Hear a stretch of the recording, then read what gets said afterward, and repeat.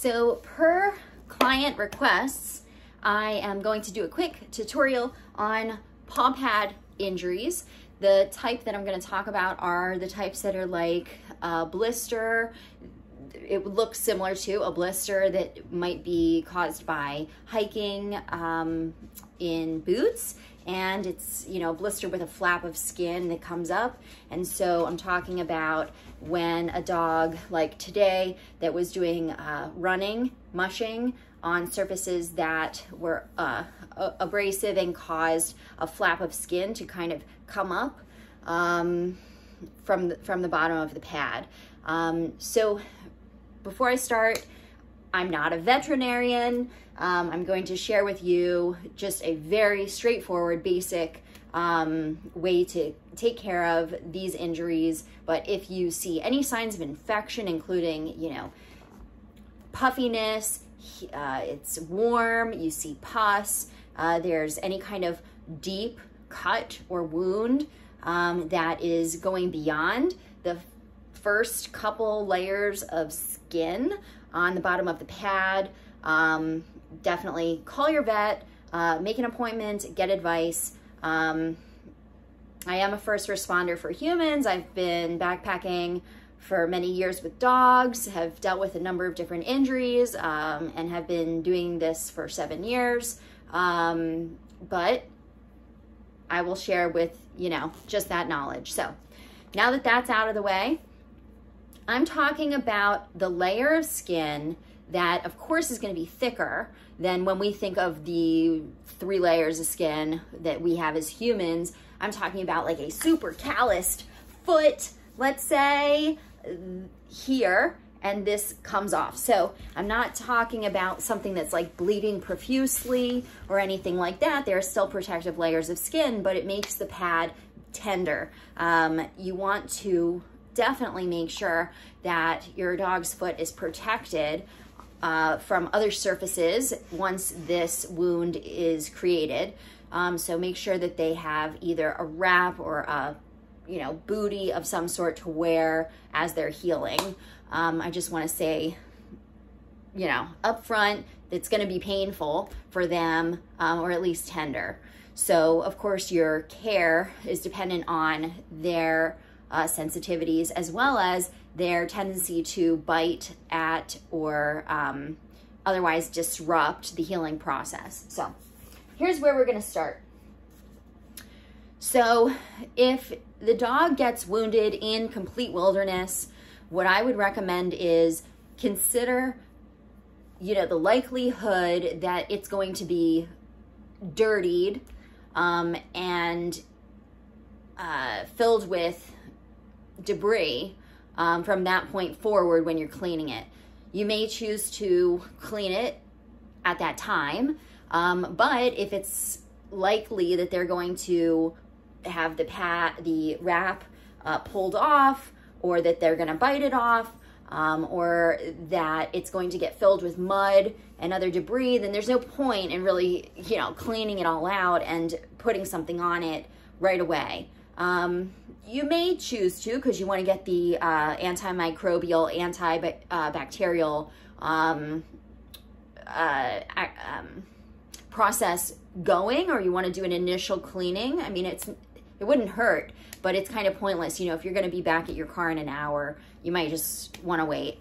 Um, you know, if they're stomping through muddy streams and stuff like that. So, but if you're on a long backpacking trip or hiking trip and it's early on in the day, you might want to do it um, to protect it um, and certainly for your dog's comfort. So it's all dependent, you know, when you choose to do the cleaning um, and do the wrapping, it's all dependent on the individual circumstances. Of course, the longer you wait to clean it, the more likely there is going to be a, an infection problem. So what I recommend using most is Hibiclens. Hibiclens is the best um, ointment for sudsing up and cleaning uh, a wound.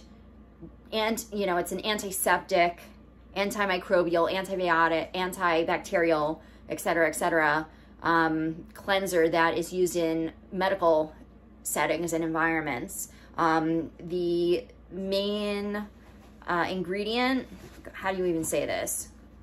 Chlorhexidine, gluconate, gluc whatever. Here it is. Um, that is, where is it? That is the main ingredient that studies have proven and shown um, does the best job of cleaning. That being said, it's not recommended that it be used in open wounds. So that's why I am recommending it. I do recommend, I use it for like everything, all kinds of cleaning out of everything. And it, it it's always been a godsend for me and prevented infections. Um, so, you know, it's my go-to, but it's uh, not supposed to be used for open wounds. So that's why I am talking about it for this flap of skin thing. For sure, I would use it. After that, I would use something like, um, oh, where is that spray? Bactine spray uh, or something that has lidocaine or something that has a um, pain relieving property uh, that maybe doesn't taste so good that the dogs don't want to lick. Um, it doesn't sting. Um, something like this is really easy to use in the wilderness. Um, you can easily just give this, give a, a spray. It's not going to hurt anything, um, even if you're out there. But once you get home, soap and water. Soap and water is the go-to number one no matter what. Basic soap, we're talking about um, a, uh, like Dr. Bronner's, uh, a Castile soap, something that's just basic soap ingredients and nothing, no, you know, you don't want to have lots of um, fragrances and additional ingredients uh, that would cause irritation. You definitely do not want to use alcohol. You don't want to use peroxide. Alcohol is going to sting like crazy. Don't use that on anybody for anything unless you're just cleaning the surface of something that is not open, you know, fine. Um, or you're cleaning the tip of tweezers for some reason to remove, you know, from something to um, sanitize a, a, um, a surface that is not opened.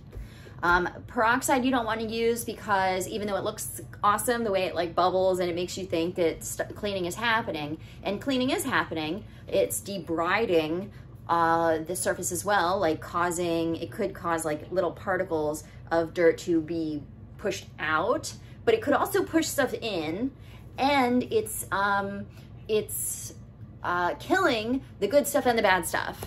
So it's killing skin cells that if there's a cut, you want you want the living cells to come back together and grow together. But if it kills that, uh, then they can't grow back together. Um, so that's an example. Um, it's just too harsh of a thing that just um, inadvertently, it just kills all of it, good stuff and bad stuff. So don't use that. You could use a double antibiotic or a triple antibiotic. At one point, someone or I read that a double antibiotic is better for dogs for some reason, but I don't I don't know exactly why or if that's actually uh, correct. But but you know something to consider or maybe look into further.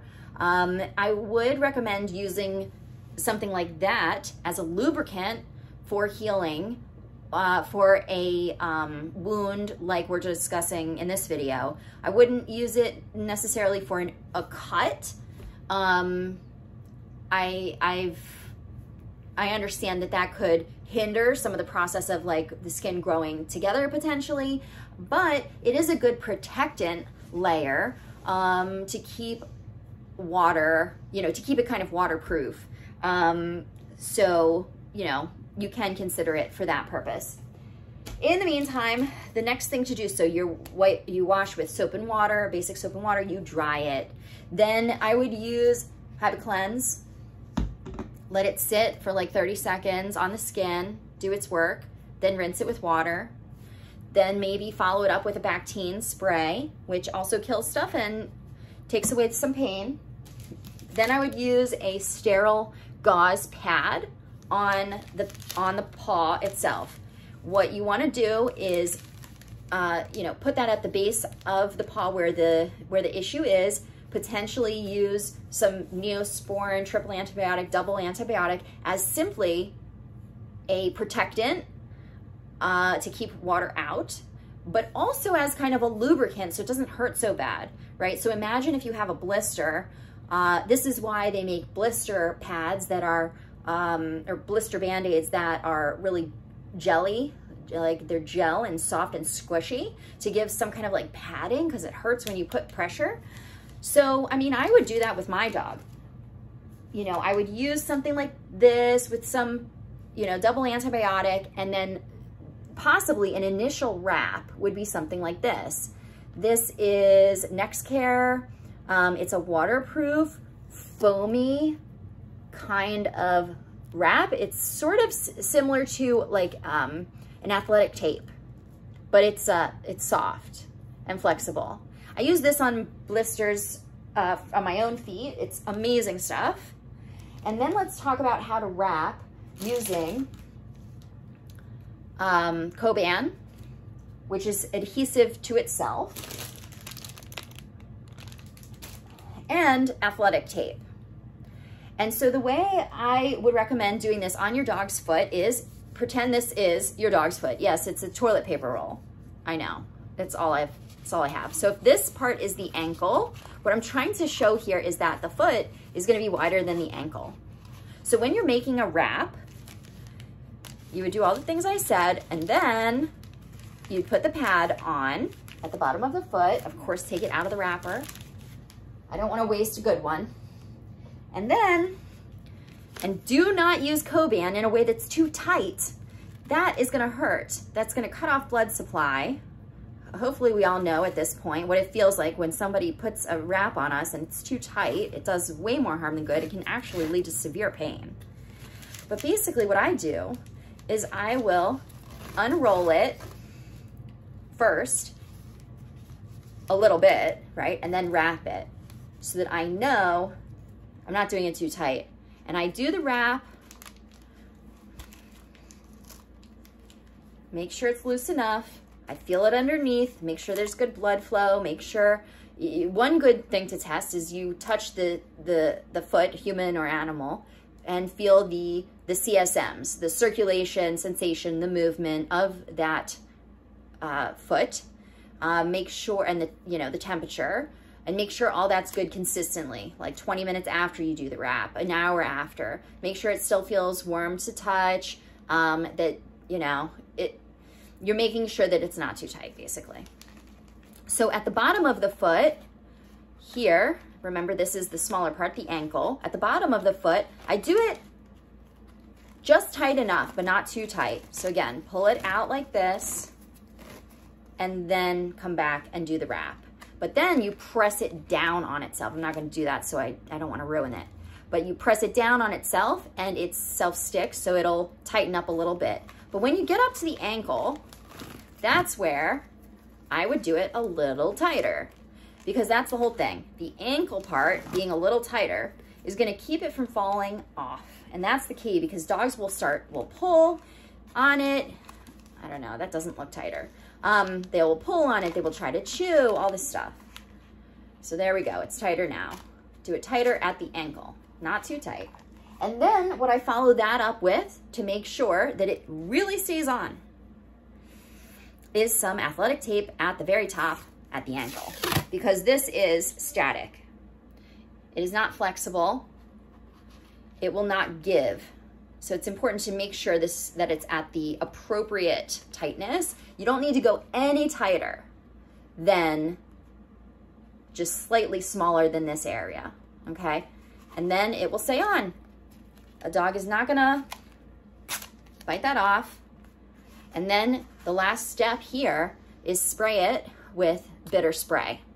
And the bitter spray will make them not wanna chew at their feet. So I would do that as your treatment. Um, make sure to change that a couple, you know, twice a day or so, depending on the situation. Um, and let your dog heal up. It's going to take a while, just like our feet, you know, to regrow that skin. It's going to take a while. So they need a rest, keep it dry, keep it clean. If you see any signs of infection again, uh, call your vet. And that's about it. Just su super basic, super basic care, but these are the things that I recommend most. So good luck. I hope that helps. And let me know if I can help you further.